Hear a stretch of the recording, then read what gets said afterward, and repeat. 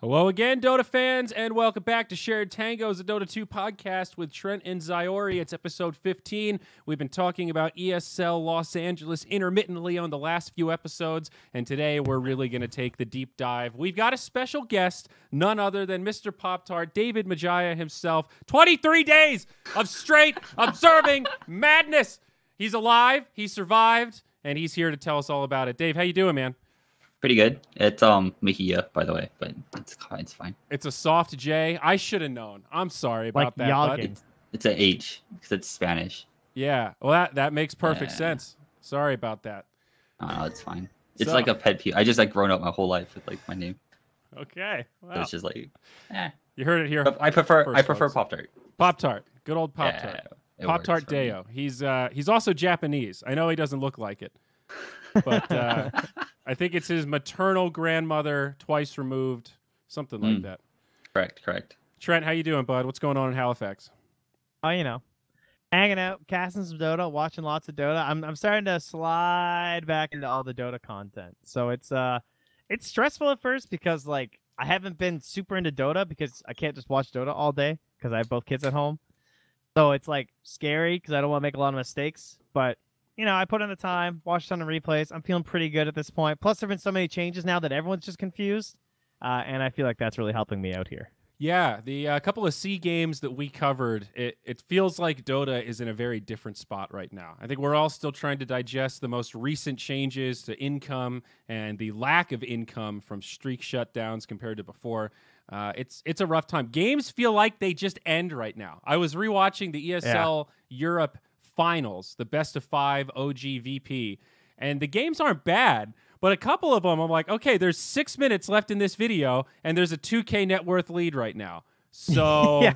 something about something's about to happen. You know, Snape is about to do some shit that's going to make me jump up in my seat. And it's like, oh no, they just lost a team fight and only had two buybacks, and now their high ground's dead. And then one of them died, and the game's over. Oh, Yeah, we kind of had this this idea of just like covering a lot of the finals for this podcast, and well, I watched the finals, and I don't know if you'll get a whole podcast out of it. I'll tell you, tell you that much. Yeah, yeah. it was a quick one for sure. We got Um, like one one good game. I don't know. No, I mean, it was uh, it was a nice viewing of the current patch. Yeah. Um, so, but I, I think that could maybe lead to a broader conversation about where we're going with Dota, what maybe we'd like to see tweaked or changed, and um, you know, if this is more just a byproduct of the current meta not being completely developed yet, and just need to figure out the antidote to the death ball strategy that we've been seeing more and more. Now, before we dive in, uh, I do want to take a moment and read a couple of these iTunes reviews. We we sent out the Oh, bat yes. signal or the Trent signal, as I like to call it. We we asked for your help, and um, you guys beckoned the call. We've got a couple here, and we're going to make this a recurring theme. So please get out there on iTunes if you're listening, especially if you're listening on an iPhone right now. That rating on iTunes would make me so happy. I'm a fellow Apple user, and everyone makes fun of me for it. So you and I, we could connect. This is our time, podcast listeners. I know a quarter of you are listening on iTunes right now. Um, so here we go. A five star review from Pure Real Truism. Trent is great. Really enjoyed Trent. The other guy's voice changes inflection and tone pretty often. This wakes up my child. I looked up pictures of him as well to find out more. Weird. Thank you, Pure Truism. I mean, what's great about that is I noticed the date on that review, and it's from March 10th, 2020. So that was Wow. before we asked for reviews. That was a truly organic. That person went out of their way to let us know that they looked me up on the internet and found it to be weird. So shout out to you. Uh, DVO DVO of 414 says very good. This is the third best podcast coming out of Moonduck. Top tier, top top tier. You Thanks, wouldn't Devo. expect a novelist and a hockey player to know so much about esports, but they seem to know things good. Very nice. Buy Zyori's book, please. I have to second, and he spelled esports E dash capital S and then apostrophe S at the end. So we don't know much about esports possessive. Um, still trying to decipher that one. Evo's a, a known known fan of the show. Thank you, Devo. Yes, indeed. And uh, one more for good uh, posterity here. Jandor says Moonduck for life. Trent and Zyori have great chemistry. Good way to keep up with the drama, the pro scene, and patch changes while listening to good banter. I'm flattered. That's like so true. Sir Matter. It's so true. Oh my God. You guys have the bands. You're funny. You're clever. This is exactly what Real Truism is talking about. So uh, thank you, folks. Appreciate that. Of course, get at us on Spotify as well. We appreciate all of your audio downloads.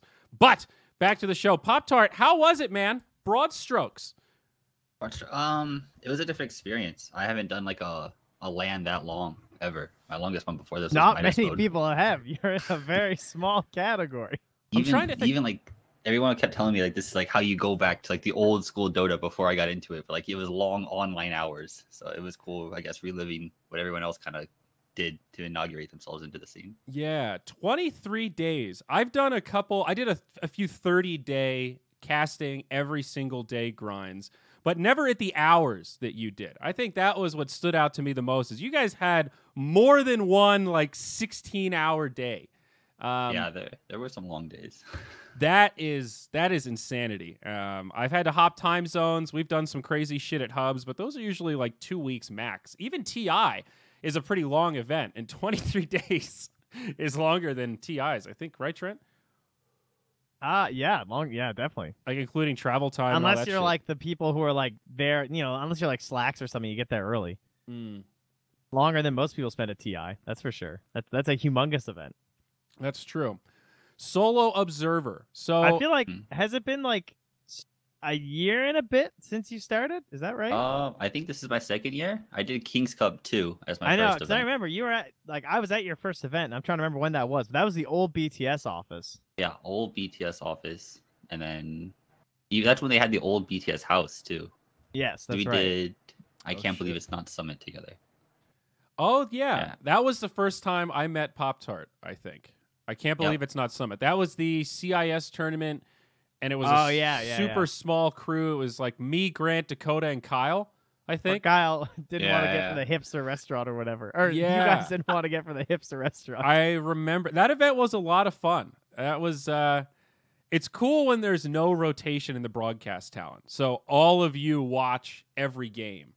You have the. It's a different vibe compared to these massive like PGL events where every combo does like one or maybe two series a day, and you're, you're sort of covering different aspects of the tournament because there's so many different schedules.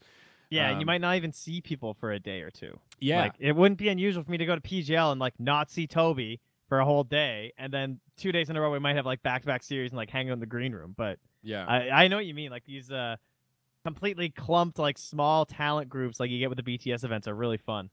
Yeah. So I, I'm thinking back. I, I can picture who's that producer, the guy with the glasses. I remember I was playing Pokemon on my Switch because some of the games were boring, and he took my Switch when I had to cast and was trading Pokemon for me and oh, basically Doughboy? playing Pokemon. I was gonna say it sounds like Doughboy, behalf. but could have been Jared. It's one or the other.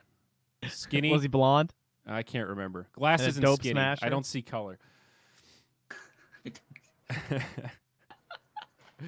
um, Wow. So yeah, it hasn't been that long. I guess maybe we should give a brief history of Pop Tart for those that don't know. Um, what was your original motivation to dive into observing? Because you're one of these crazies that I've always been jealous of. You either studied or have some firsthand experience in computer programming. You're a software guy, so you you have the means to make a lot of money at a real job, and you put that aside to live the esports dream. Merlini did the opposite, right? He lived the esports dream and went, "Yeah, fuck this. I'm gonna go make money writing programs." And now he's a software developer. So I'm curious about your what, what was your spark? What was your catalyst to make that dive? Well, I used to live in Reno and I would program casino slot machine games. And then my company merged with another European company. And slowly my position was just eliminated just through the merger of two companies. So I moved back to California, answered a Twitter message from BTS saying they need local observers.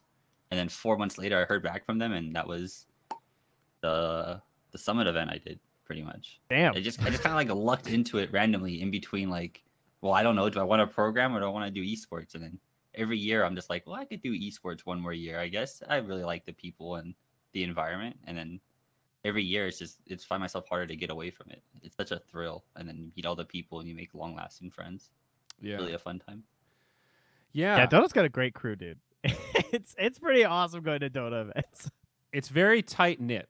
Uh, it's cool to have these relationships that, in some ways, kind of go on pause because you have your indo- your own lives and your own projects and your own brands, and then you come back to LAN, and it's like these relationships just pick up where they left off. And there aren't there aren't a lot of things like that in life. You know, we can all we all can compartmentalize very well. I think that's a key aspect of being a successful Dota person, just in general, be it player, personality, whatever. Uh, so, which event was your first one? Was it Kings Cup two that I was at? Uh, yeah.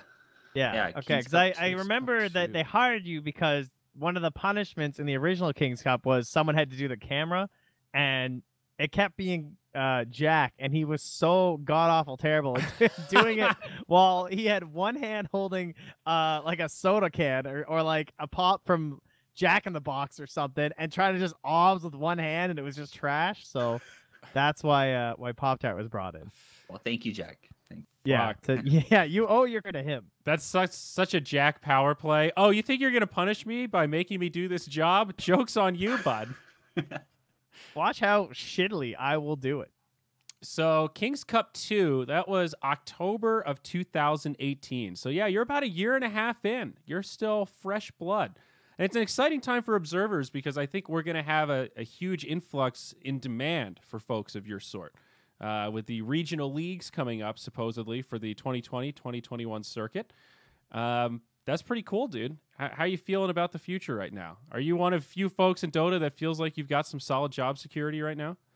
I kind of did, and then COVID hit, and I'm not exactly sure where it all kind of levels out now. You know, Fair- originally fair that was my plan. That I was like, oh, I could do another year of esports because there's the regional thing, and then it will give me solid opportunity to make money, and I don't have to go back to programming. Yeah. But now with COVID, it's like, well, I don't know what to do. Do I develop from home or do I ride out the wave? So I'm kind of just playing it by ear. There's one drawback that I've I've realized on both sides of it's hard to do remote production for a lot of folks because production houses generally don't have a Dota 2 or whatever the specific game is. It's all pretty specialized.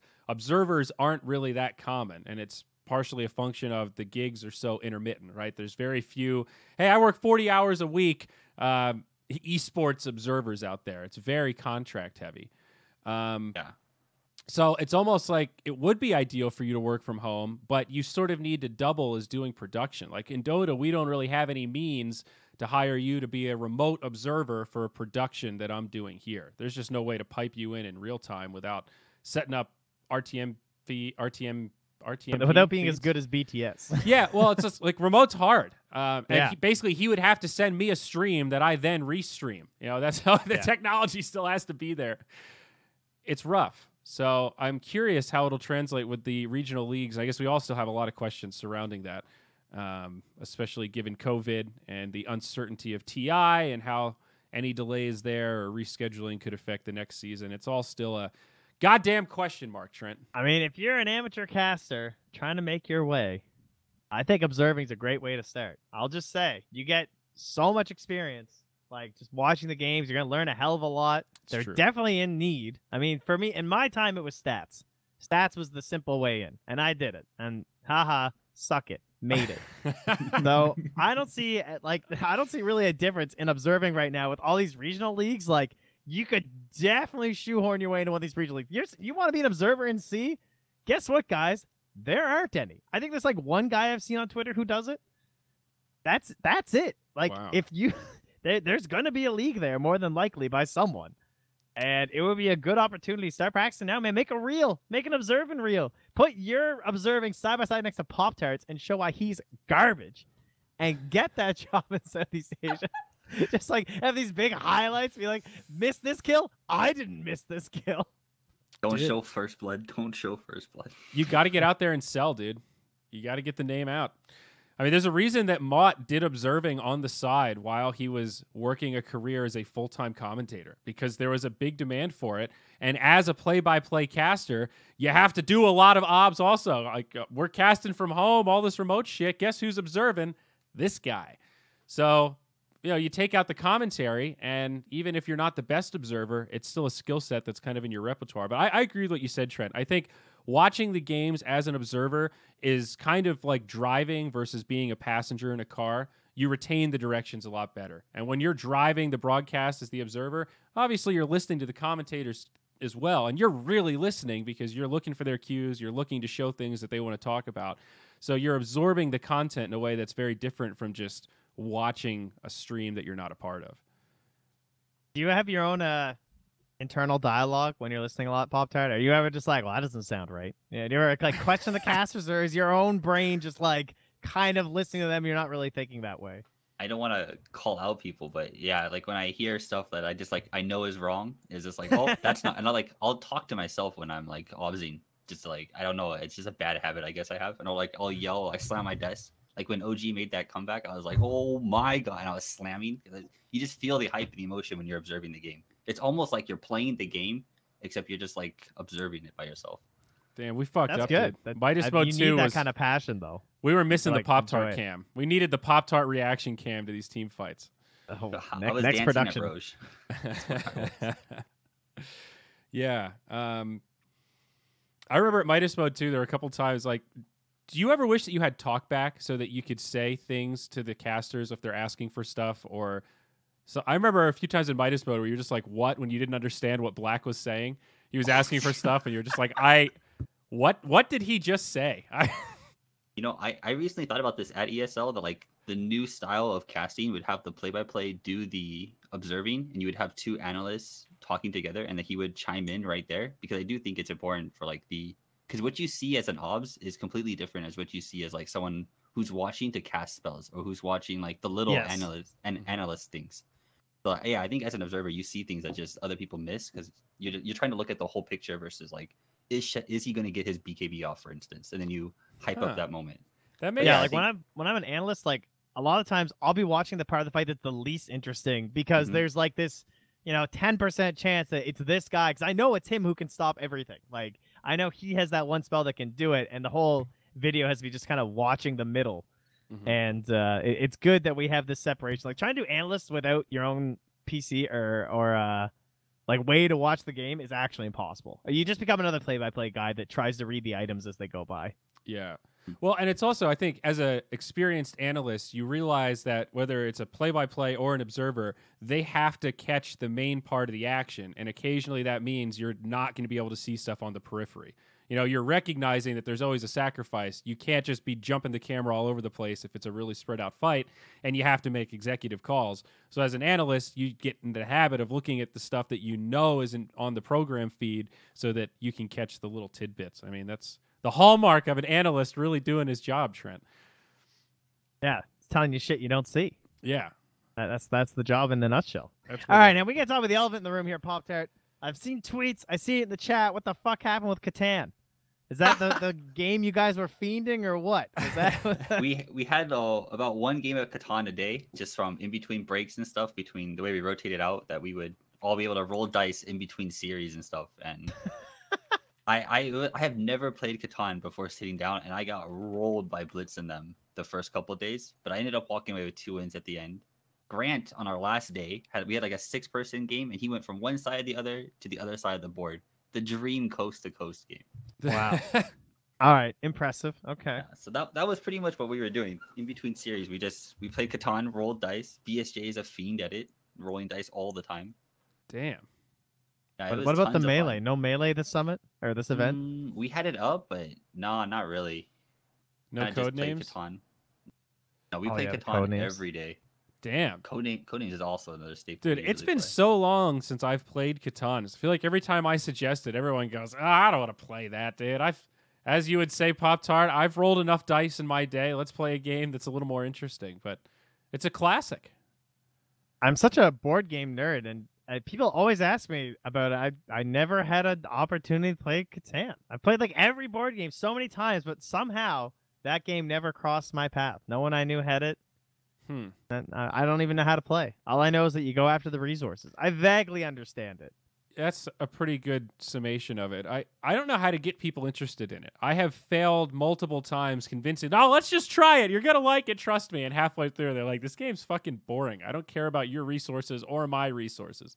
I will say one thing that the world desperately needs is more 1v1 board games. And there's Mm. a game called Rivals of Catan that is fantastic. And it's 1v1 and it's it's very good. I play it with my wife. It's hard. Does she Two thumbs way ass? up. I think there's um tabletop Steam games has Catan on it. Oh, the tabletop simulator thing? Yeah, there's a bunch of mods for that.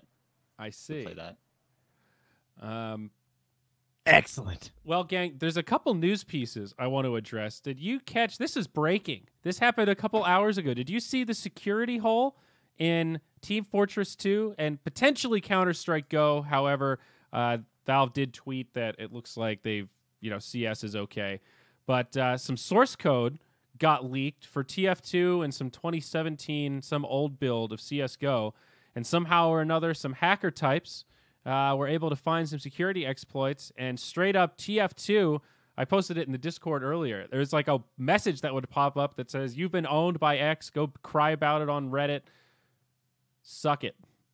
Like That's it. straight up. Well, I mean, who knows what other data they were grabbing and looking at, but that's, you know, there was just a bulletin board message if you loaded into the game that basically said, Yo, we hacked this shit. That's scary. The code was leaked in 2003 and 2018. Oh, okay. I thought it was recently leaked. But uh, yeah, dude, I, I looked at this afternoon and Valve was trending on Twitter. I couldn't believe it. I thought there was some sort of a game announcement. I thought it was going to be something exciting. But I guess you guys didn't it. even see the news, huh? I, I did just briefly hear about it, but I didn't really understand what was going on. Well, that's that's too bad. You know, old TF2, they're, they're still chugging along. So here's the conspiracy. You ready? Oh, excellent. So the timing is nothing short of suspect with all this talk about Riot and Vanguard and the potential vulnerability of this always on kernel oh yeah. watch Uh-huh. watchguard type thing. Do you think Oh, this no. exploit was done just to prove that like, hey guys, shit that we think is pretty safe could still get hacked? And uh, you know, imagine if this had kernel access 24/7 on your computer to play TF2. Oh, I thought you were going the other way, as in like, uh, well, this just because you know Valve doesn't have the kind of access Riot does, their anti-cheat's not very good, so this was paid for by Riot. no, I, thought that's the angle you were. Trying I think hit. it's the other way. I, I mean, I don't know who sparked it. I think it's an anti-riot thing. I think it's to show that you're never as safe as you think you are, and uh, we need to set some restrictions here. I think this was uh, this was a Valve fan. This was somebody trying to take down Riot. Here's something interesting. How about the fact that there are 13,000 people active on the TF2 subreddit and only 6,000 active, or okay, 7,000 active on Dota? Oh, Does that surprise you? That surprises me. That must literally just be people looking about this leak. yeah. that would be my guess. I don't think that many people still play TF2, do they? I mean, I love TF2. I actually don't know. It's one of those weird culty games that probably still has a surprisingly large player base. I, Given I how gotta check some Steam is. charts here, boy. You should actually. I'm I'm quite curious now. But I love TF2. That that's uh, my first love. according to Tostress, he says the Valve News Network were the ones who leaked it. I don't know what the Valve News Network is, but What does that even mean? I don't know. Dude, TF2 averages 68,000 players right now. It's it's up Yeah. in the last 30 days. See, Pretty there you go, dude. People are still playing, still collecting hats. Are, are people that scared of Overwatch? They're like, well, I don't like Valorant and Overwatch is dead. I guess we're gonna play TF2. Yeah. I mean, what, They're going back to the else? old quarantine games they know. Oh yeah, that's true. I guess that, that that's a good point. All these people that have been working for the past decade are like, oh, I'm, I'm stuck at home. What what did I used to play? Oh, I have TF2 installed. Dude, they're going through all their old games. All right, what servers are still live? Is there still a 24/7 two fort server? I wonder if 1.6 is up in the Steam charts. I think everything's probably up except podcast numbers. Um, but who knows? So, have either of you gotten to play Valorant yet? I just got my key today. Whoa! Did you install it? Are you going to install it?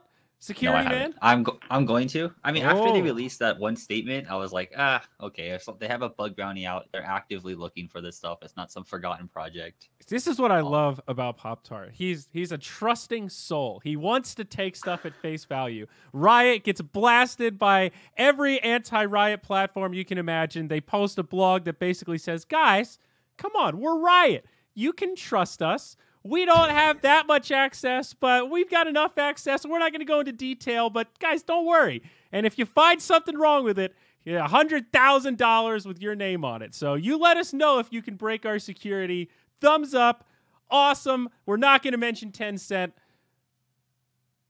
We It love you. Good, it was a good faith gesture. I feel from them that they didn't need to do, and I feel like it made me feel at ease at least. I mean, they had to do something. They, I, I think there was enough dialogue that just trying to sweep it under the rug was not going to be a winning winning formula. Um, I mean, I kind of agree with you. When, when I saw the blog post, I, as much as I wanted to rip into you, I, I had that feeling of like, well, at least they understand what's on the line here. And I think now that you've posted this, if you get caught abusing this shit intentionally, it's it's a brand ruiner. Tencent sure. is public. You know, I think there are a lot of market incentives for it not to be intentionally abused. Now, the vulnerability slash incompetence aspect of like, you know, what happens if somebody does break into this shit. Yeah, it's pretty scary. But the thing that I keep going back to is that they're going to install this anti cheat thing for League of Legends players also within the next year or something like that. So this shit's going to be prolific on hundreds of millions of computers. Do they? I didn't even know if they have hackers. I don't know anything about League. I guess I never thought about it. I mean, probably. I'm sure someone's tried to make like a map hack or something, I Hmm. assume so. right? It's I, I don't think I'm just into FPSs right now. I don't I don't really feel like playing Valorant. all right. I don't I don't know. I'm not in the mood right now. Man, you know, I could see myself going on like a five man. Kind of like how Overwatch was really fun when you played as a party. Yep. That's how I'm taking it too. Yeah, I, I could I could live with that, I suppose. But no, I don't currently have it installed either. I don't even know if I have a key. You then you probably don't. You would have gotten an email about it, I think. We didn't uh, we didn't get any from our hookup yet. No, our hookup didn't hook us up. I just got it from Twitch. Our hookup fell through. Oh no. I mean, I see people with like four viewers that have drops enabled, so I'm sure you can just go get one if you if you're out there and still looking for one. Well- like there's like some guy who has 78 viewers, a former PUBG pro who's Korean that has drops enabled. They So- changed it so that everybody has drops enabled now. If you ha- it's uh, if you have a key, you can spawn key drops from your stream if you're streaming Valorant and it's linked. Yeah, to but some people account. disable it, right? Yeah, yeah. You have to have it enabled. It has might to be be enabled by default though. It does automatically turn on. Yeah, I didn't do anything and and mine was on. It's it's a nice gesture. I don't think it actually increases your chances, but now you don't have to watch the five mega streamers to have a have a dice roll. You can watch people like me. Like you. Yeah, I mean, the the beta must be being pretty huge now. I guess Like, so. there must I, be actually have no peop- idea. I, I don't know how many keys they're giving away per day. I don't know how the math stacks up.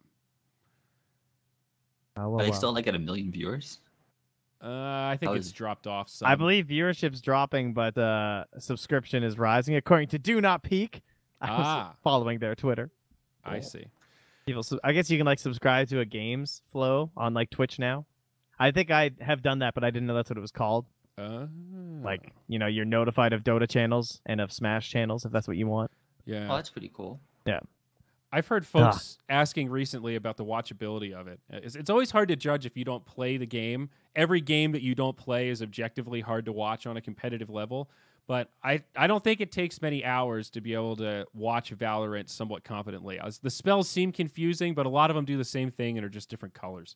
They're just different Yeah, color exactly. smokes, so you can see whose cooldown was used. It's not, you know, nearly as complex as you think it might be. So I, I think the watchability is is more way more comparable to Counter Strike. That's always been one of the hallmarks of Counter Strike. You can sit down with your dad and say, "Look, he shot him in the head. That kills him in one shot."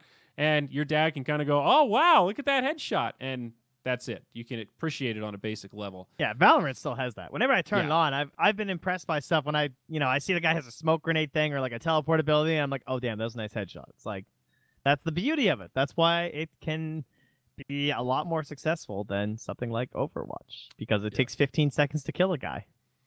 That's boring. it's all this stuff in combo with Overwatch being on YouTube, dude. I still just don't understand that that decision beyond short-term cash in the bank. It's a goddamn pyramid. I believe we call that the cash out. that the cash the cash out in year two. Yeah, like all good sound financial investments. Short-term market incentives. That's where we're at. All right, Pop Tart. So, what stood out to you most about this event? Um, all the regions were played, but most of them were pretty short in comparison to Europe. Was Europe by far the most hype region?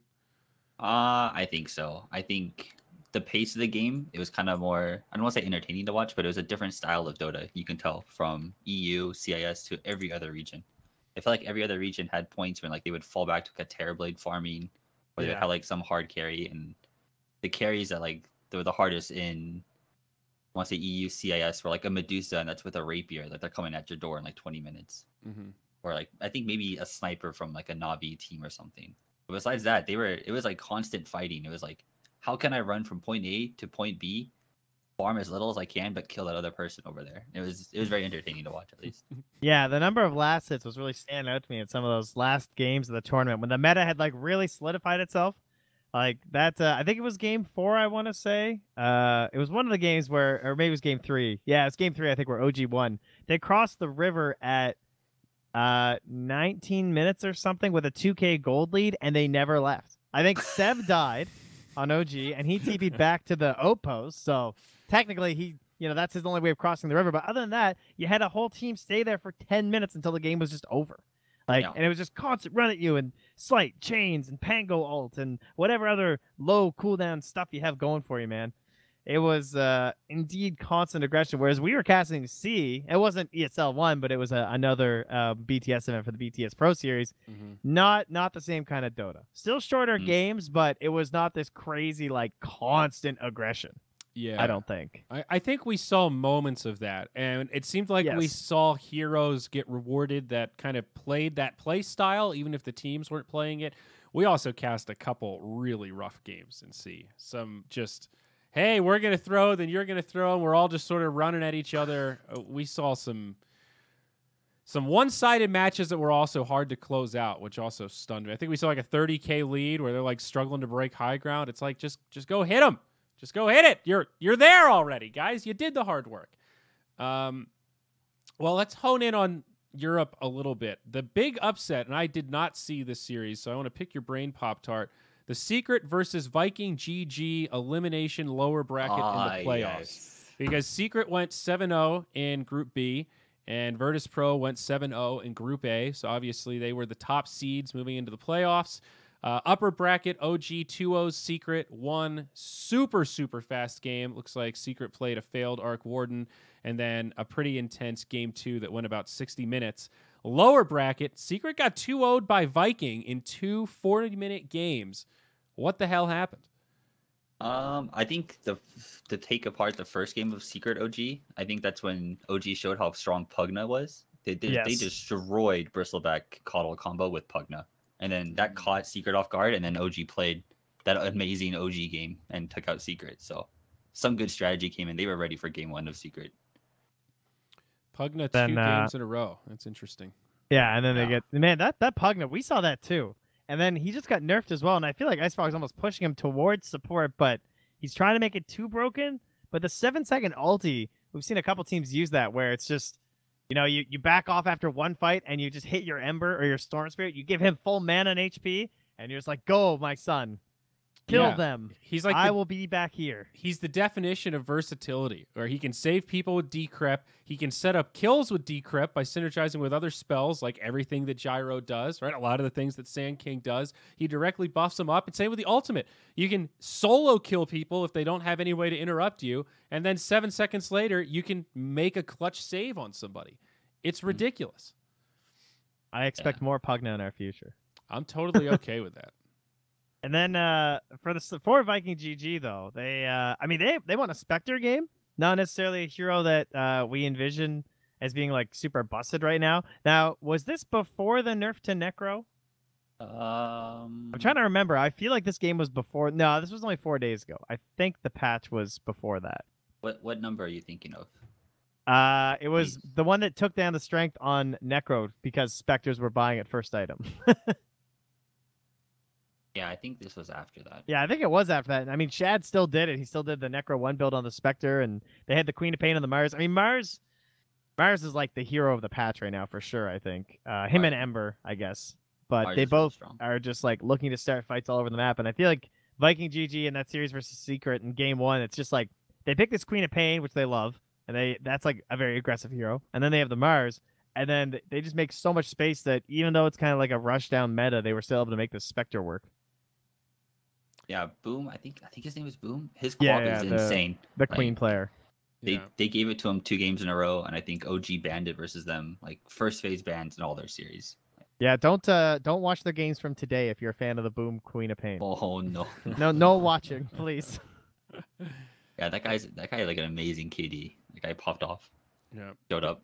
The Necro book, though, even though it got nerfed, it still lets you play very fast compared to a lot of alternatives on Spectre. And, Well, and it uniquely fits Spectre because of the way the ultimate works, right? Mhm. It's like how Demon used to do um Necro Puck first. And you would orb onto people, coil them, and drop Necros, and they're just stuck. And Spectre can haunt onto you and just drop Necros. Yep.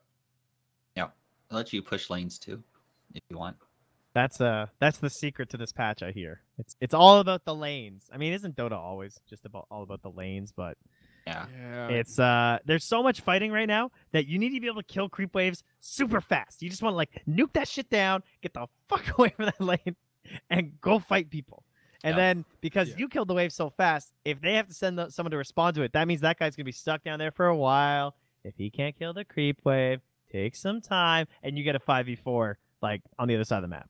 Yeah, one of the things that Dendi mentioned in the podcast I did with him a few days ago is that there are strategies that used to work really well around a specific timing that just go bust now. Uh, the example he used was Orchid on Queen of Pain can feel like that. It's like, all right, guys, we have this strategy where we're going to have a slow start. We're gonna. It's okay if we lose the lanes a little bit. I'm going to get this item. You're going to get the blink. This guy's going to get his ultimate. It's all going to come together at the same time. And at 15 minutes, we're going to smack them. And now that feels like if it's not a Deso timing for Rosh um, or some other death ball to take towers, it's it's pretty hard to do that. Like winning lanes is just so much safer compared to these strategies that used to rely on a little bit of recovery. Um, now the the crazy 15 minute timings are they're just like death ball timings to me. Especially because kills just lost everything, right? Like Yeah, I don't think nothing is better about killing someone, right? Streak gold went down, streak XP went down, ten percent less. Is- I mean, kills got hurt the worst compared to everything. So going for like these strictly kill based items compared to something like oh a Deso, which comes when you get kills and secure objectives, like you said, probably gonna go a little bit better. And they also, I saw, I think it was on Reddit a couple days ago, a comparison of how much the jungle has changed in terms of economic value. This is the shittiest the jungle has ever been. If you ever have that feeling where the enemy carries free farming in the lane and you're free farming in the jungle, unless you're like Drow hitting the triangle or something, the jungle kind of sucks. It's really not that efficient. Farming lane creeps. That's what it's all about right now. Who can bully everyone else out of the lane so you can set up free farm for your cores? That's that is the Dota meta in a nutshell. Have you guys had any position for enigmas in your games you've been doing? Uh, I Like heard there was one that was really good lately. Now I can't remember who it was. And he was like, uh, Lyrical was telling me about it. I was like- uh, I think it was Zayats might have been playing it. I can't remember. yeah. yeah. And they were just like stacking camps like crazy with it and just like destroying the jungle and then getting a super early helm. Yeah, mm. that's like the only jungle hero that I've like in the recent times I can think of that used the, the jungle to be good. So the only reason bad. is because he can stack four camps at once with all the Eidolons. I mean, that is a pretty busted mechanic. I'll give you that. Just well, like, that and he can you midnight pull the lane down. back too a little bit for your offlaner. You help him, and then you go jungle. You just True. dodge their position for when they come looking for you. Yeah, you're like a jungler that also denies some passive farm, which feels Yeah. pretty uniquely good. Man, you're right though. The jungle does suck. It has like no redeeming factors. You'd rather just be like pushing t- like towers, even though I guess at the same time, if kills are worth so much less, even if neutrals are worth less, maybe maybe there is some value. Uh, what I have seen in terms of the nu- the jungle has just been stacks. Like I feel like Yeah. people are just trying to make a bunch of stacks, and they have really fast creep clears because um, there's not a lot of mid heroes that can kill ancients now, and the ancients are like kind of out of the way. hmm compared to like where you could just have a triple stack or something, or like three camps, like the way that N0tail was doing with the Shadow Demon, where he's just like Mhm. making this like triangle just completely full of creeps, so this TA can just walk over and farm it all up there.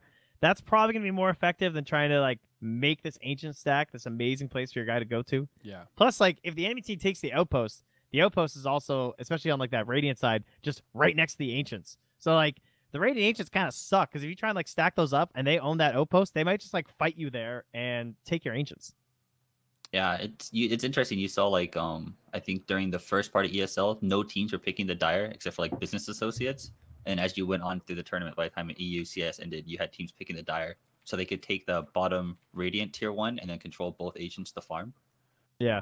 But like the meta is already changing a little bit from what map side you want, just to control ancients and to fight over that.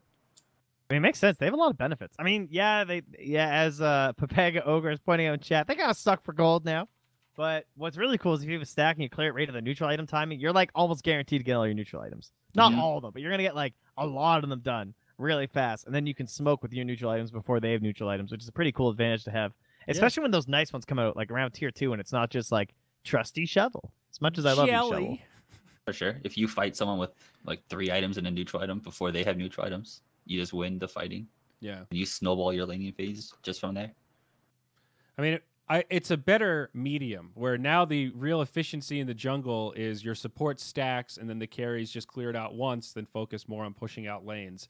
And I think that should incentivize slightly more active gameplay. Carries spending more time on the lane relative to hiding in the jungle. I mean, the the wor- some of the most boring Dota metas have been the like faceless void, battle fury versus Sven. Both of them just farming in fog in the jungle, waiting to And all these critical pointless mass. kills happen throughout the game that don't feel like they have any impact. Yeah, and your supports are just running around, burning all their money on wards, and then nothing happens with them anyway. I mean, I, I think we're we are trying to incentivize a slightly more active style, generally speaking. But But we need to find the sweet spot, though. I feel like we're Yeah.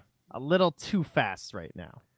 Well, so what do you guys think about these epic team fight heroes? I want to start with Death Prophet specifically because Trent and I both had this feeling of loving the hero and hating the hero while casting SEA. Pop Tart, where, where do you land on DP right now? Do you think she's busted or is she too easy to play around? I think if you get a good DP game, it's a good DP game. But I think like it's not like picking a position like first slot in your first two picks and then having it run as a five. I did not like seeing five DP run around. But like a one a, or two or three, I liked a lot. Yeah, when you guys started that league 23 days before, uh, there were a lot of support DPs. she was Mhm. happening like I mean, like most of the games I tuned into, it was position four DP, and I was just Yep. like, this seems terrible. They're like getting the silences off, and but you know, there, there's some parts of making a flexible draft that are good. You don't want to be too flexible. All right, you, you're not that stretchy. I, I think Yeah. I saw a DP go like zero four four, and I was like, I don't know if this is what the position four DP was supposed to do. But I, I guess it's doing its job. It, if you can land a bunch of AOE silences, that's an amazing support skill. But not just the ultimate, uh, you know, pop ult, everybody runs away, and then it's sort of this now what do we do sort of hero. Spirit Siphon to me is the same way. You stack up all these charges, you drop all of them in a team fight. If the other team has any kind of mobility or ensnare to stop the DP from chasing, it's not that hard to break spirit siphons. Every single one of those crazy turnaround fights or those pub games where DP gets an ultra kill, it's because they just stand there letting her heal with the spirit siphon. It's a fucking busted ass spell if you don't break the tether. Mhm. I mean, what you seriously s- though. What you saw a lot of teams do is like DP hits six around the same time catapult comes mid, and you have like Yeah. both supports that are like level two or three, just run to mid lane and help you take a tower. So at that point, like you can't run away from a spirit siphon ulted guy running at you for DP. It's just that's where I feel like the hero is really strong. And then you take that mid tower and you kind of just open Rosh for yourself, the game's over. And like if True. she can do that, DP's super good. Her Yeah. uh, her Rosh taking abilities are a, a big asset, no doubt there. Um, and as Archie is pointing out, Spirit Vessel, a great item against the Death Prophet. Hmm. She usually buys Yules, but still. Yeah, that'll be. Uh, we'll have to discuss the patch at the end of this, maybe, because this will be all be post ESL, I suppose. But uh, in terms of the uh, the grand final, right? Uh, OGVP. I don't know, if you sorry. Did you you went through and watched the games too, right? I did. Yep. What were your uh, your initial thoughts as a uh, you know kind of layman train ride spectator as as I was as well, as we didn't actually watch it like live because we were casting SEA. Yeah, I definitely watched them on 2X uh, on YouTube, but very much so that death ball the pre- I would call them a precipice game. Very even and then one team falls off the precipice and it just ends. That was the first four games in a nutshell. Yeah. Game 5 was a little bit more interesting. Uh, a 50 minute match. That was the one with the Enigma and uh, that Storm Spirit that really popped off. Uh, Oracle Dazzle definitely convinced me that what we were seeing in SEA wasn't just a fluke in terms of having two heroes that provide sustainability. I that- wondered what you'd think about that because we had some Oracle Dazzle games that were like a little dicey in SEA, having like the double save support, but it, it worked out for VP. As uh, I thought Enigma was going to win that game. I thought I thought with the BKB, OG had it. I kind of did too. Um, and I, I actually got spoiled by accident uh, going into game five. So I was watching it through that lens of, man, this looks pretty good for OG. When, when's uh, when does the turn happen, so to speak?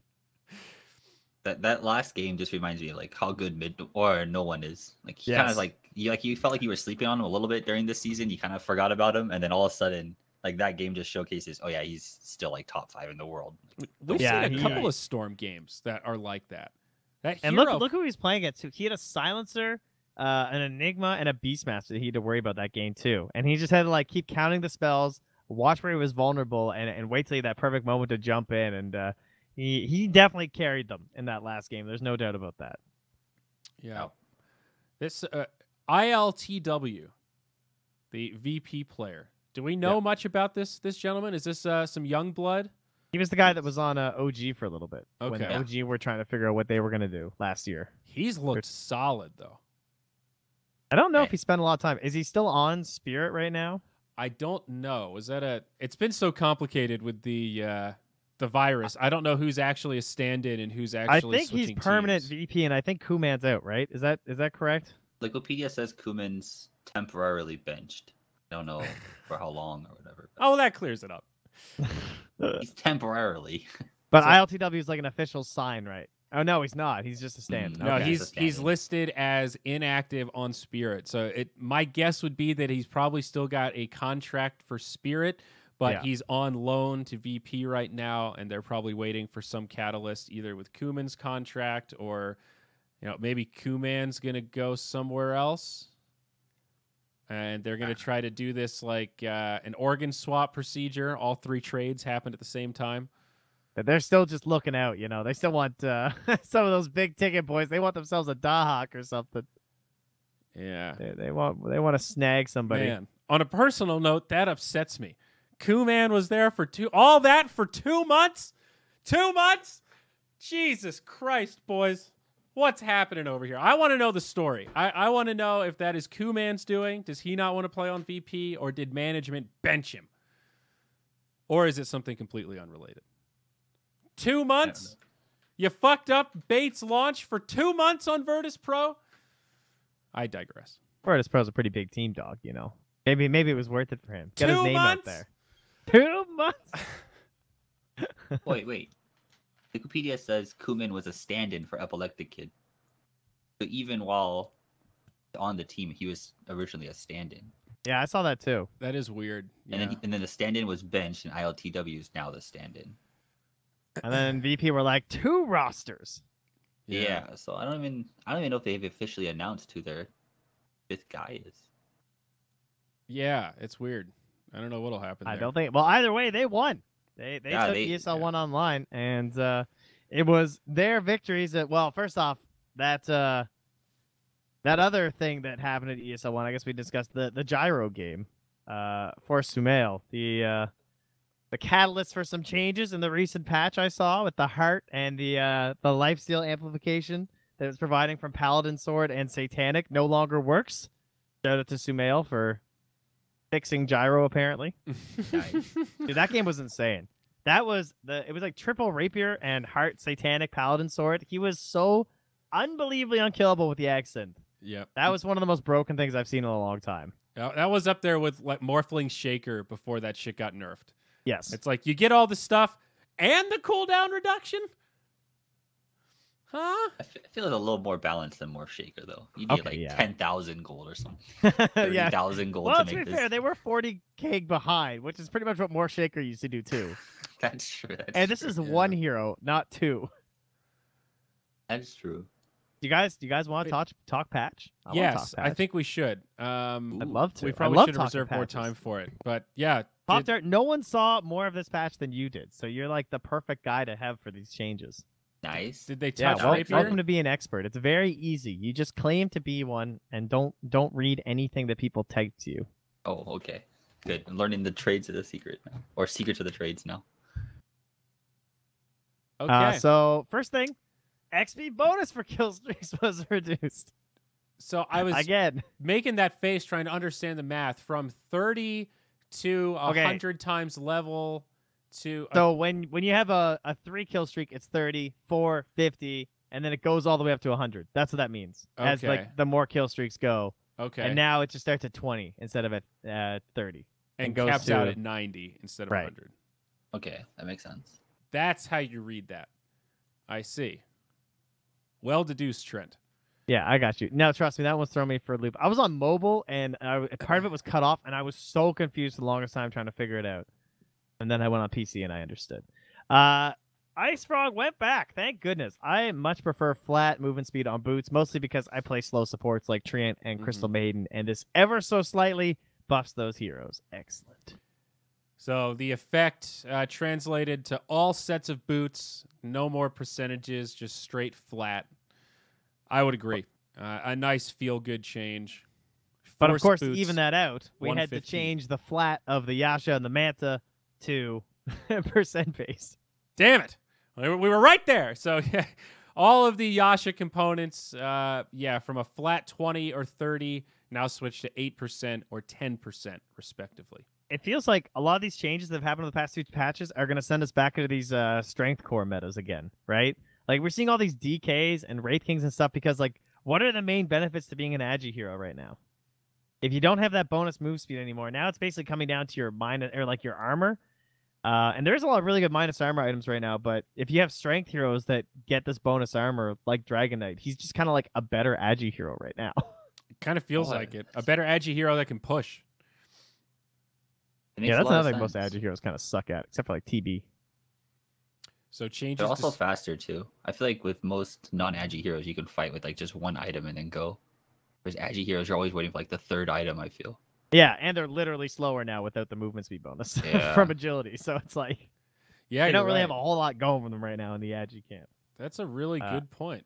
We took away all the benefits of being Agi. Uh, Spirit Vessel. Change here provides a negative aura that reduces health regen, heals, and lifesteal by 20% in a 1200 AoE. Soul release, debuff regen, reduce reduction reduced from 60 to 35%. No longer requires wind race, wind lace, and does not provide a movement bonus. And the cost has gone up now 250 gold. So Spirit Vessel sort of feels kind of pipe esque now. Very unusual. Uh, so it's slightly le- less um, reduction because it's now 55% if they're in your aura and you're hitting them with the the debuff, right? Uh, instead of being 60%. More of a team item, less of a single target item, but now it does shit without charges. Zero charge Spirit Vessel still gives you the aura, correct? Yeah, and it really messes up like Mech and Chen. Because Mhm. before you were just like screwing up the heal on one person, but now you're reducing all those AoE heals by 20%, which is pretty crazy. It feels like a must have item right now. It, it's like a good counterplay. I feel to like the meta. Whereas like before there was like only only this item, but you'd only put on like one other person. Or I feel like Yeah, if the other just had to, team's like- grouping up, Burst somebody is- down. Yeah. So this I feel like it feels nice to play.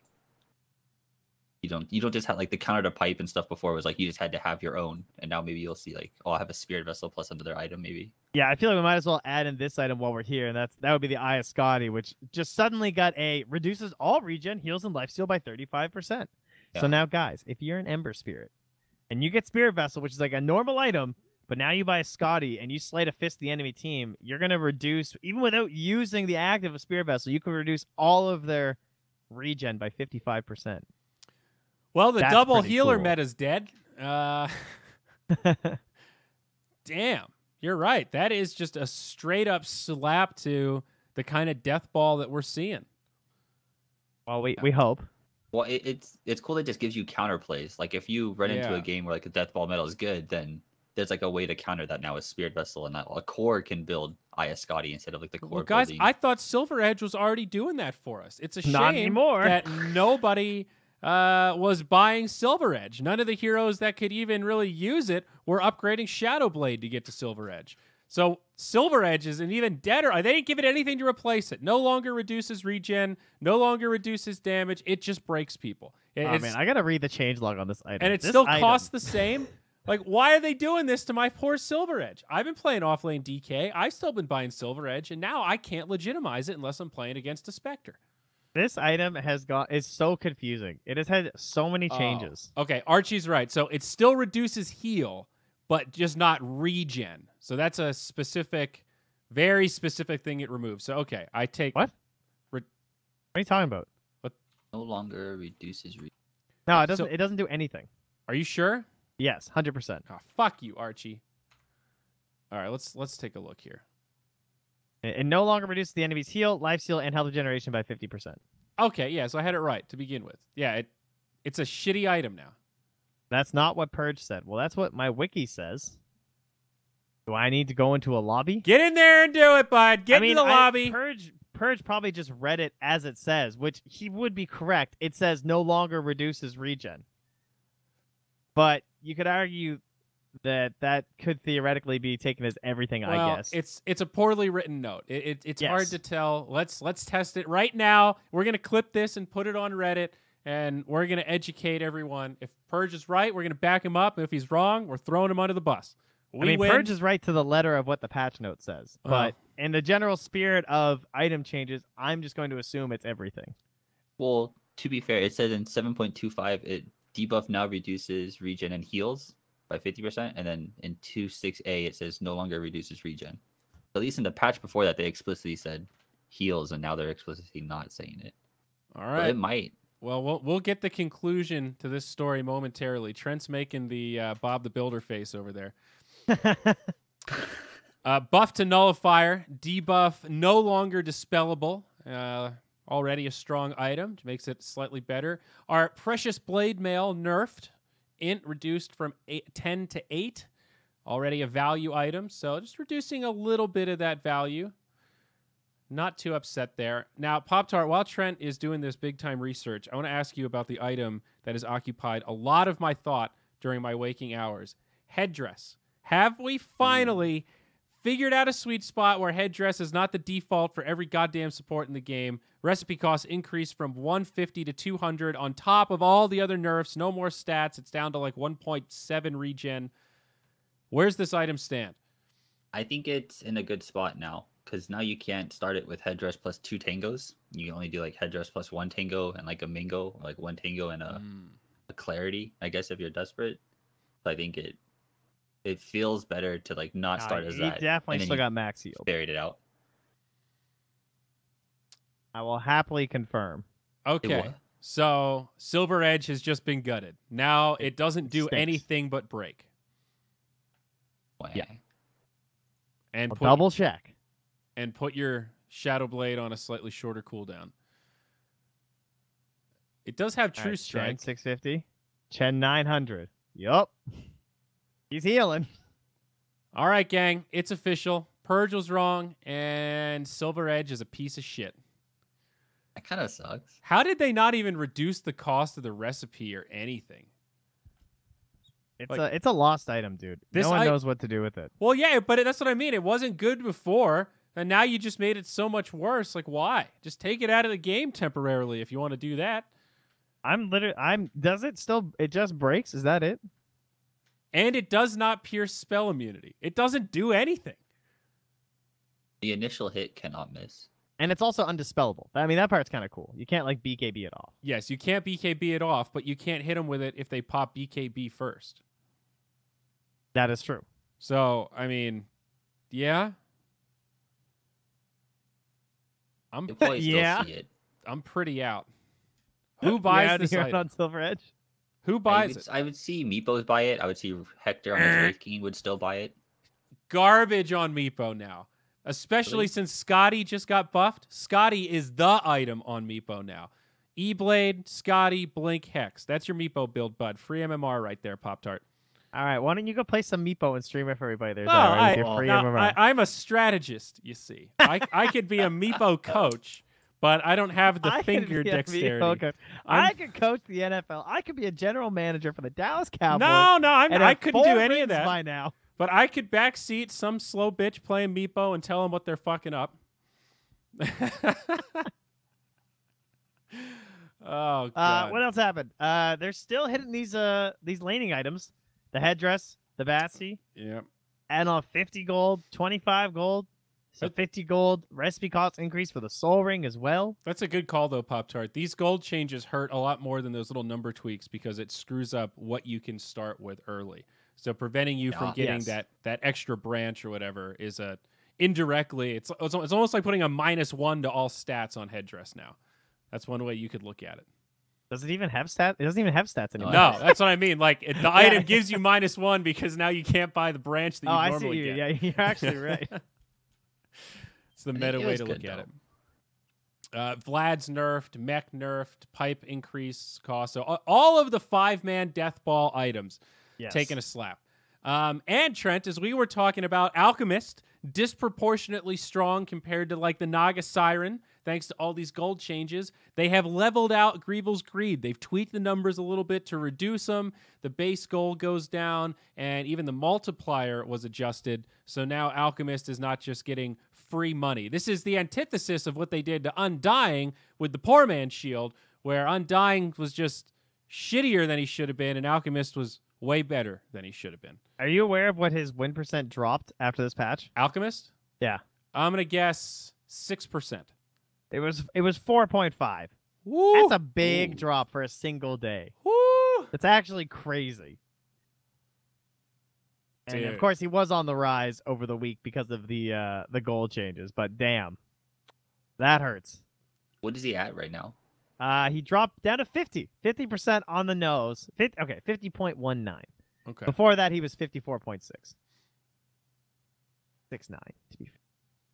So some, yeah, the big winners over Yeah. the day, I believe. Uh, I mean, let me find my trends here. a lot of heroes just got little tweaks. The Bloodseeker got a very small thirst buff. Uh, gold from track just for the bounty hunter got a slight nerf. How about uh, Clinkz though? Yeah, searing, da- searing damage uh, from the arrows up ten, all levels, and then the mana costs it also got increased. But just that that added damage, his win rate went up by dun six point three percent, by far the highest gain, Wow. more than double the next highest gain over this week. I mean, that's just a straight buff, though. The mana cost didn't raise disproportionately. So, Searing Arrows at level one went from 20 damage to 30 damage and 6 mana to 9 mana. So, it's just a 50% increase across the board. If you're a level one Clinkz trading with people, you're like, yeah, I'll take that all day. 50% more damage on Searing Arrows level one? Yes, please. Win Yeah, my went from lane, you say? Forty-seven percent win rate to a fifty-three point two. I think I was watching like a BSJ video, and he was like, normal spells is like a almost a one to one ratio of mana to damage, and Yes. this one's like 100 damage for 27 mana. It's like that's kind of insane when you think about it. Yeah, even as the- even as a support, like this doesn't look that bad. No, that's Like, a very good way to look way. at it. I, I think support clinkz will definitely be showing up in pubs. Hundred percent. It was already annoying. There were already people that spammed it, Huh. And this makes it really dumb. it's sort of like the position four Weaver. You don't offer any control, but you trade so well with all the other supports that you, you can kind of just mow them down. I mean, on top of that too, everyone just lost a bunch of their HP regen, and they have less regen because they're buying headdresses that are now nerfed, and they can't buy more tangos. Dude, Clinkz, I bet Clinkz is busted as a five right now. Shit, dude. I want to play some Clinkz 4 now. That sounds awesome. All right. Well, how about DP? Uh, five movement speed nerf. So she's down to 310 base. Uh, Exorcism uh, now scales in terms of the additional movement speed. And Exorcism costs more mana 50 at all levels. So now 250 at level one. I liked her changes. I thought they were appropriate and not too over the top. I feel like she'll still be fine doing her normal role thing. She's probably just not like a first pick instant every single game, but they didn't like I Yeah. really I'm really glad they kept the bonus movement speed on her ulti because I do think that's an important part of making this hero good. If they're gonna give that skill to Medusa, I like having it on De- uh, Death Prophet as well. It feels like IceFrog just hates support Death Prophet. That's where I feel like these changes really hurt. You know, like level one Exorcism is way shittier now with the movement speed and mana changes and your base Yeah. movement speed. It's sort of like the Lycan thing. It just slows that timing down a little bit, recalibrates it so she's not, oh my God, how did the support just cripple us in the top lane at eight minutes or whatever? I think you have when you see numbers like this scale, you see you see the same thing later on for Pugna too, where it's like all of a sudden all their abilities don't just have a flat like it now scales with each point you put in. Mm-hmm. I think those are really good changes because you don't want to change, you don't want to nerf the hero too much. You just want to make it do what they do just a little bit later in the game. I think Right. the hero will probably still be playable. So Not a support. Minor tweaks to DK. Uh, Drow gets an armor buff. Ember Spirit. This is a hero I expected to see some changes. He has been so strong, so versatile. Searing Chains cooldown increased slightly. Looks like two seconds uh, at most levels.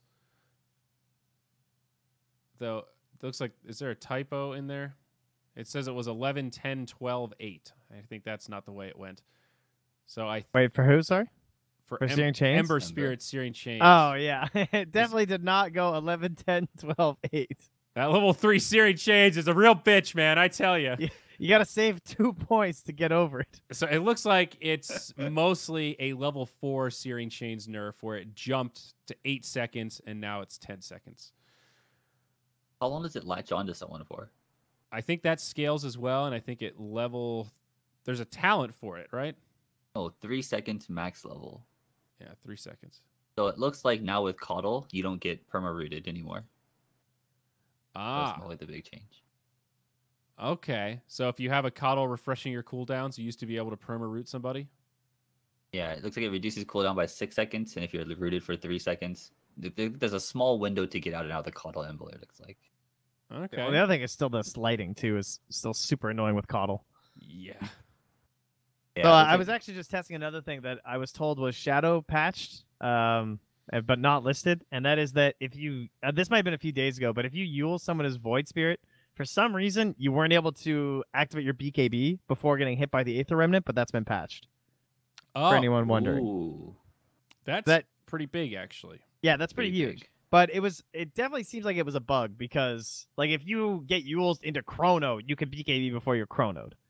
So I don't see why you wouldn't be able to BKB for Aether Remnant. There's like a one frame buffer there, at least. Supposed yeah, to there, be for some yours. reason it wasn't working that way, uh, but that's been patched now. So if you if you get used by Void Spirit, you guys can queue up your BKB now and you'll be fine. Okay, shift Q that be. All good. Void Spirit, or uh, pardon me, uh, Phoenix Fire Spirit tweaked slightly, longer cooldown, no change to the damage, and only longer cooldown in the first couple levels. Uh, Supernova Scepter upgrade no longer allows you to cast Sunray. It used to do that like cross X Sunray thing, and no one really used it anyway. To be honest, I think everyone kind of forgot it existed. Oh, Even in all the games we cast with the Phoenix, I don't remember seeing it once. Huh. I actually forgot several about that entirely. Yeah. yeah. I think I've only seen like once or twice too. I think because if I'm not mistaken, your Sunray has to be re- it has to be off cooldown, so you have to have not Sunrayed before egging, which would be an unusual team fight situation. Because usually you're like Sunraying someone to try and save them, and then when another target's gone on, that's when you like dive into your egg or whatever, you know. So, but now it's a talent. Level 20 talent Yes. changed from plus 1.25 seconds on Supernova stun duration is now Sunray during Supernova. I don't get this change. Why does this What- matter at all? Uh, because it's a cool aspect of the hero, and now it's not locked behind Aghanims. Yeah, I see it the same way as like Coddle happened to Coddle. that So you, it's a buff? Eh, I. And why was this hero buffed? That's the part I guess I don't understand. you would get Ags probably on the same time you get level twenty, right? Yeah, I would guess maybe a little earlier because you're a support. So like, because most people just rushed it like first item, and maybe you're not getting the best levels. Okay. I I- yeah, I wouldn't look at so much as a buffer or nerf it's just a, a change. I'm not sure which way's better to be to be honest with you. Yeah. She definitely got nerfed pretty hard in the laning stage though, because her whole thing is fire spirits and oppression, and now that's being reduced by a lot. Like six seconds longer on every levels. Uh, well, not They every nerf- level, but those early levels kind of hurts. they nerfed the damage too a few patches ago also, so they Yeah. got hit again. Hmm. But I, I think just having a hero where it's like you don't need an Aghanims to play the hero is a good thing. You saw the same thing they changed with Coddle a way back when. where, Yeah. like you had to get Ags on that hero to make it playable. Yeah. They're just they're just opening up the hero to more branches of play, which I like. So you're talking about the support Pugna. It feels like his changes, as you mentioned, Pop Tart, really hurt the su- potential support Pugna where you're lower level. Um, Yes. All of his level fours are exactly the same, but Decrep now scales, so the cast range kind of dinky at level one, and Nether Ward also scales in duration, so that it's only 18 seconds now as opposed to the fixed 30 that it was previously. That I, that hurts. I think it has to be this way because the way that he was set before, the support one was actually like way better than Core Pugna, I think. Yeah, And that's I don't think Core Pugna's or uh, I don't think support Pugna's dead from these changes. I just think it's not insanely broken. I think it's still going to be good in games versus like where it hard counters enemy heroes like legions or something. Okay. I think it would be a good strategy pick to put in there. Yeah, I think the ulti is still super busted for the way like as long as we're still playing this like kind of snowballing meta, I feel like the ultimate's still gonna be super good for keeping your cores on the map. Mm-hmm. Yep. The way you can like decrep, save a teammate, heal, save another teammate, and then by the time you're decrep, like the way your spells rotate, it see it feels it looks real good to play this hero just because everything kind of lines up nicely. And everyone wants to dive you and you have a save. Like if you have Yeah. a, if you're just alting someone, not only are you covered by your own nether ward, but if they try and dive you like a TA or something, you can just decrep her or yourself. And you're like, haha. like supports are supposed to be like the first target in a team fight. And having a, na- a natural save like that is very annoying for a lot of cores. hmm So the Now, our boy Razor took a beating for some reason. I was gonna say that was the last one with really significant changes. His base movement speed is now down to 280, down from 285, and the Storm Surge ally movement speed reduced at one by one percent at all levels. I mean, he's still just a counter pick hero. I don't think this. I, his laning just got a little bit worse with the five movement speed loss, but I don't. I don't think it's gonna matter. Yeah, I think he'll still do his job. It looks real sad to see two percent though. I just look at that spell and I don't even want to level it. Yeah, yeah. So that that first level is just. Ugh. Slardar lost his sprint speed for some reason. A hero that doesn't seem that broken anyway. Maybe because it's just percent based, and now there's so much more flat that they have to tweak down all the percents. That's probably really what these are. That is exactly what I was gonna say. Yeah. And the same thing with Spirit Breaker. Like, sure, he lost two percent, but in reality, this is probably just equivalent to. In fact, it is equivalent to what you're losing on like treads and stuff. So it's it's actually fine. You know, maybe this maybe the Razor one feels worse than it is for that exact same reason. Now that I'm thinking about Yeah, it, yeah, it's probably completely like a nothing. Let's see. Did his win rate go up or down? you've got to reduce the percentages on his movement speed and stuff. Oh, else he lost one percent he win rate. scales stupidly. That's not that bad though. I mean, One it's a slight over over adjustment, I guess. Slardar lost 0.1 percent win rate. Oh my god, he's dead. All right, so the winner of uh well, I don't know. Okay, what what do you guys think is the most useless change in this patch? Useless. Well, like what is the the of ranking OD. of all these changes? Which one is the most like? Well, that doesn't fucking matter at all. I, I'm I'm going out and saying OD. I don't Oh, I, think I do like that one. Um, I kind of want to pick. Bl- uh, no, it's definitely Bloodlust from the 8, 10, 12, 14 percent. His win rate went up. That's got to be the most useless one. I was gonna say the the lone druid level twenty five talent reduced from 0.25 spirit bear attack base attack time to zero point two. Wasn't it 0.2 before? Am I crazy? I have no idea, but that I'm just pretty sure it was. it's like a combination of we're not seeing lone druid. It's a level twenty five talent. It's It- yeah, it's like a twenty percent change or whatever, but still, it just seems so. I don't. What is Uh, that? actually, it was uh 0.5 level 25 right talent right, right talent was reduced spirit bear base attack time reduction from 0.5 to 0.25 and now it's 0.25 to 0.2 so it's actually just been buffed and buffed. There we go.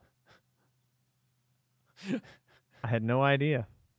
Is that the I'm game sure we're really going to feel that 0.05 Oh, hey, base wait. attack time change. i wasn't crazy. All right it's 7.20e E, his level 20 left talent uh increased spirit ba- bear base attack time it used to be from two. wait attack time reduction from two to 0.3 oh my god this is so confusing Yeah, because base attack time Yeah. is one of those inverted things too. So it's So reducing. it used to be number. 0.2, and now it's two on 25. It used to be two on 20. Ooh. Okay. Well, there you go. All right. And he's had a lot of talent changes. He sure has. Lone Druid's been all over the place, man. Oh yeah, from like the ranged Lone druid, yeah, he really has been everywhere. Yeah. Uh, I'm looking for the buff patch because I'm sure there will be a B patch with a lot of buffs. These were all nerfs, right? No one got buffed. um, not super significant. No. Oh wait, OD did. got buffed. Sorry, I forgot about that. Yeah. And Drow get the base damage, uh, the base armor. Yeah, yeah, yeah. So Ch- th- Panda's Clinkz got the buff. So there were like five or six buffs. Everyone else got nerfs. Brewmaster buff, yeah. Chaos Knight, the uh, ulti is now a Mhm. static uh, 125 second cooldown. Used to be 145 at level one. So some very minor buffs. This was uh, all right.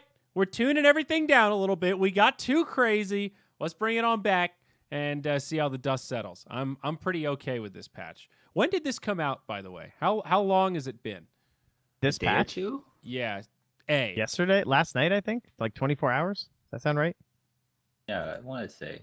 Okay, it came out on the 21st at some point. So yeah, we Uh, we don't have too much data. Need to play some games, get a feel for some of these changes. Need to see support clinkz in action. I wonder. I'm gonna look at the pro page, or the front page right now. Let's see.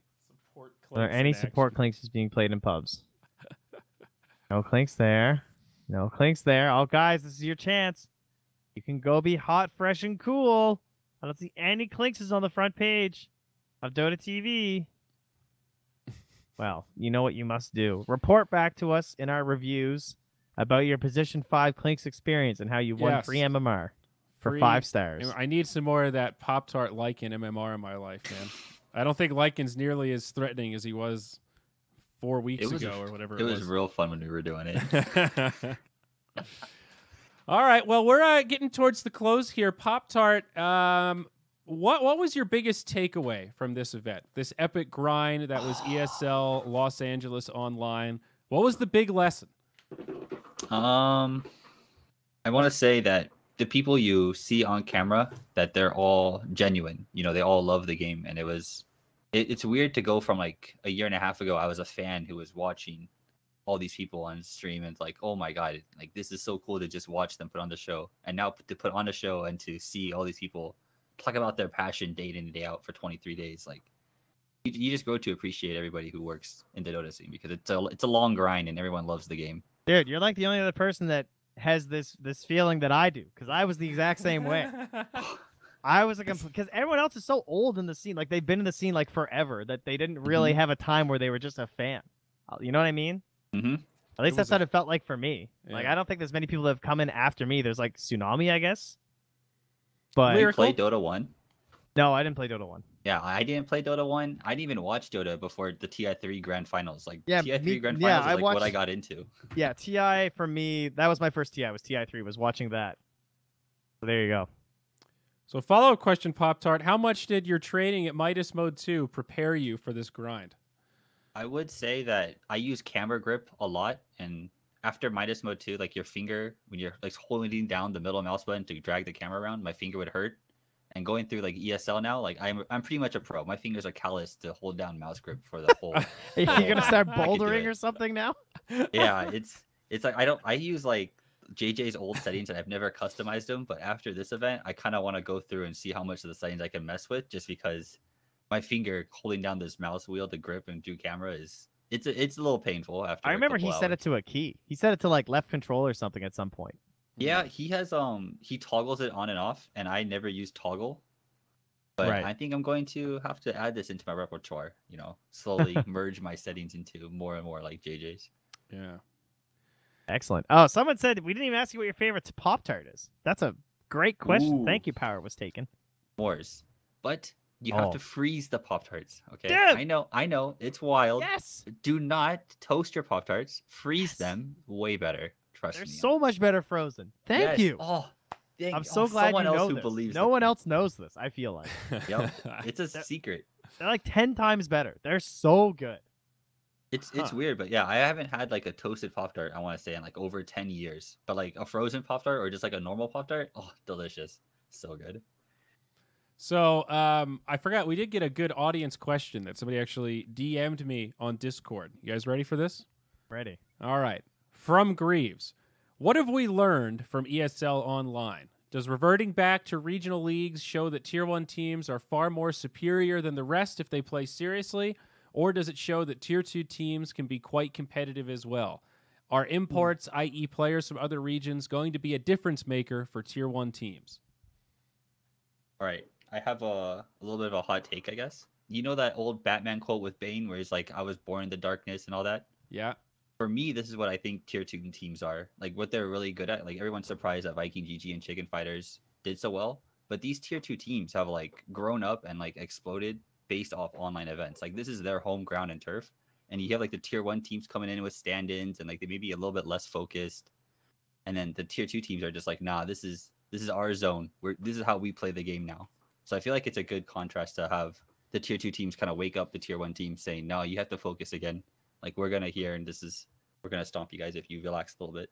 It definitely shows that the gap is maybe not as because we we perceive there to be an absolutely humongous gap because Mhm. we never get to see them play tier two. Like the entirety of last year, really. Uh, there'd be some qualifiers, like even though Secret's like forced to play in these qualifiers, uh, and they they did definitely destroy. Let's be honest, in a lot of those qualifiers. So I guess we I can't say we didn't see them play like tier two at all, but we did have upsets over the past couple of years from online, and now we should be seeing more of these matchups. And uh, I I don't know, it's uh, I'm sure it's a lot harder for a tier one team to take online seriously. uh, is exactly what I wanted to bring up. How do you gauge, especially with the stand-in factor? You know, coaches playing for teams. I think any match where you've got a coach playing for one of the professional players, they're by default not taking it 10 out of 10 serious. Not that they're trying to lose, they always still want to win. There's always competitive integrity, but there's just that feeling of, well, we're playing with our coach, man. I mean, come on, let's let's let's have a little fun with it. Let's this is definitely more of a scrim than an official. I look forward to the uh, the super official hardcore cash money tournaments online. Yeah. What, what was the prize pool you ESL one online? I which is kind of interesting. I always think about prize pool. when I think of live events. The online prize pool was pretty good, right? It was 60k for VP. Mm-hmm. Not bad. Yeah, viewership's been fine. Um, I don't know. I, to me, it's more about the finances of what really holds tier two teams back is the background stress of not having any income because very few tier two players are on a team that pays them a significant salary, and a lot of them are on like ragtag kind of player orgs, and you only get paid if you win. And a lot of the tier two teams are like struggling in qualifiers when tier one teams are fighting in there, and it's really hard to play your best Dota and be completely focused on the game and get the most out of practice when there's this voice in the back of your head that's like, all right, I got six months before mom kicks me out. Okay, I've got a thousand dollars left in the bank account. Like all that background Yeah. stress is not something that tier one players have to really think about. That's part of the value of an org like EG is they take away all that stress. They have somebody cook for you. They have somebody show you how to work out. All you have to do is worry about being a, a basic person and focusing on Dota. So that's the big gap for me. And I think the more we can create resources for tier two teams to close that gap, the more we'll see it be more about skill, not, hey, who's got the better computer? That seems to be an issue in South America still. Yeah, poor Beastcoast. Apparently, they're, they're dropping out of all leagues that aren't SA because the connection is just too bad. Oh, that's a bummer. Just can't be done. It sucks, dude. Fucking sucks. Yeah. Bring back how long- land. Let's uh, let's hope that the world starts healing as as fast as possible. Do your part. Wash your hands. Stay the blazes home, as as the Nova Scotian saying goes now. I guess Stay the blazes home. that's what our premier said, and everyone memed the shit out of him. Attaboy. It was pretty funny. oh god, that's perfect. All right, Pop Tart, you got anything else for us? Any closing words? Anything grinding your gears? Anything chapping your ass that you want to get out there? Um, no, not really. Thanks for having me. It was a blast. My first podcast. Wow. Wow, that's We're gonna have to send you over to position six at some point, and to uh, uh to our own friends at the you know the side pool. I'm sure Cap will, you know, you got to hang out with Cap. yeah, I'm sure he'd love to have you. yeah. You and Cap can talk about uh, all that overtime you guys got paid for at uh, ESL Los Angeles. And Catan. And I don't know how much I'm allowed to say about overtime. Lots of. Catan. Stop throwing Catan. shade. What's wrong with you? He's Pan's still like fun game. see poor Pop Tart is still in that like honeymoon phase where he doesn't know who he can say negative things about. Like it's hard to know that balance. So you got to play Yeah, it let him safe go. always. Don't don't corrupt the poor boy. All right. Yeah, all right. I don't. I don't know what I want to say or yeah, what don't I say can shit, say. Pop Tart. Shut your mouth.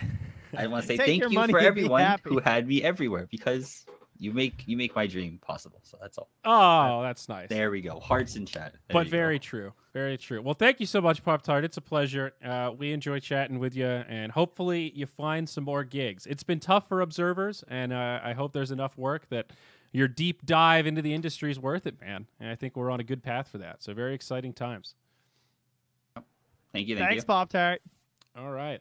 Well then, um, I don't know what we're going to talk about next week. I guess we got more tournaments on. WePlay is happening now. Dota Pit just announced that they're going to be doing an online league. So while the COVID crisis continues, uncertainty all around, but we've still got plenty of online Dota to keep us entertained. Oh, you guys should watch Navi versus Baited Oh, and we play because I'll be casting it. when's that on? Tomorrow morning? Nah, two days I think. I think Two days. Friday. Ooh, and uh, Or no, it's on Saturday. It's on Saturday. I'm pretty sure. yeah, okay. So yeah, go watch we play. Watch it. Watch it. Cheer for bait. We're going to do it. All right, that's it. We'll get this up. You guys know where to find it iTunes, Spotify, and then on YouTube later. Thank you so much for watching, folks. We will catch you next time. Enjoy yourselves. Bye bye.